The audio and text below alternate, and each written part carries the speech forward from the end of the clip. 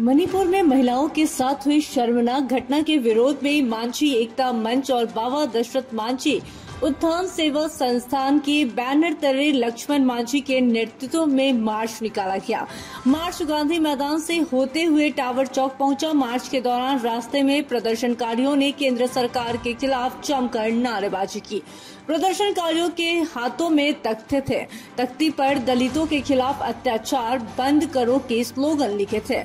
यही नहीं, उनका कहना था कि मणिपुर में दलितों के साथ मनुवादी लोगों ने घटना को अंजाम दिया है। कहा कि मनुवादी ही ऐसा कर सकते हैं। टावर चौक के निकट प्रदर्शनकारियों ने केंद्र सरकार का पुतला दहन किया। प्रदर्शन का नेतृत्व कर रहे लक्ष्मण मांझी ने कहा कि मणिपुर की घटना का जितना भी निंदा किया जाए, वो कम है। सरकार इस घटना पर चुप्पी साधे है। मणिपुर में पसरी हिंसा पर सरकार नियंत्रण नहीं कर पा रही है। लोगों को खासकर महिलाओं का जीवन दुश्वार हो गया है। क्योंकि वो मतई एक दूसरे के दुश्मन बन बैठे हैं। महिलाओं की जान, वो आबरू दोनों खतरे में है।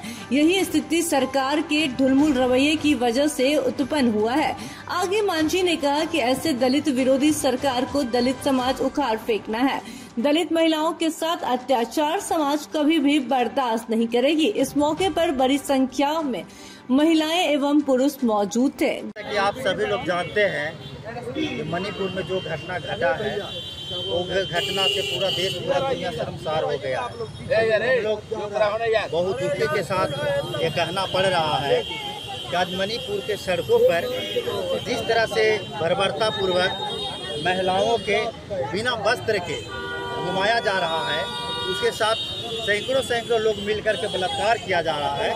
वहाँ के कई घर बेघर हो गए हैं, कई लोगों की हत्या कर दिया गया है। कई लोगों को घर जला दिया गया है।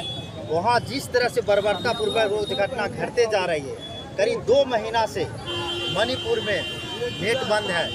और जो लगातार दो पद से जो लड़ाई हो रही है, ये बहुत शर्मसार घटना है और हम सबको दिल को दहला देने वाली घटना है। ये पूरा दुनिया ही नहीं, पूरा देश, दुनिया सभी इस घटना से दहल गया है।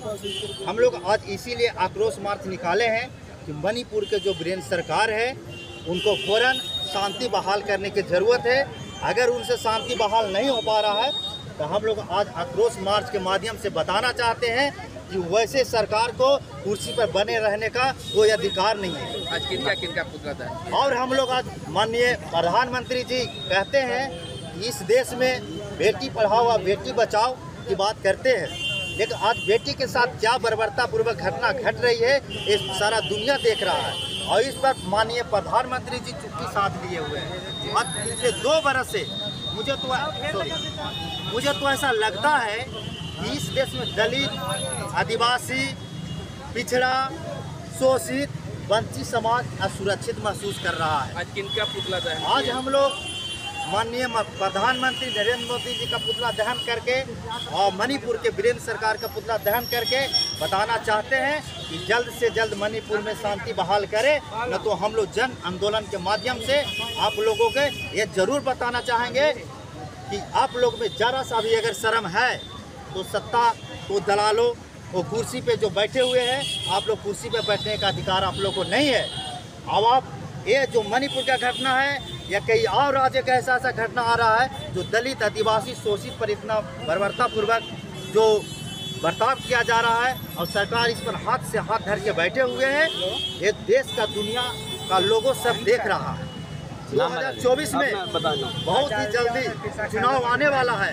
अगर ऐसे ऐसी घटनाओं पर सरकार अगर पहल नहीं करती है तो शायद 2024 में सभी जनता ने मिल करके उनको गद्दी पर से उतारने का भी काम करेगा। परिचय बताइए पूरा। मेरा परिचय लक्ष्मण मांझी पर्वत पुरुष बाबा दशरथ मोह धाम सेवा संस्थान के संस्थापक। गया ऐसी जितेंद्र कुमार की रिपोर्ट।